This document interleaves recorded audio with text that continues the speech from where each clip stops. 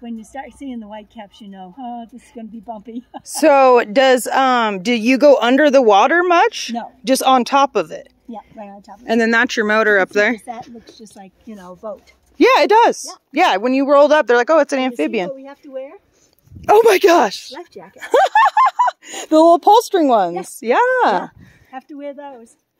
God, this thing is so neat. I've never seen one in person.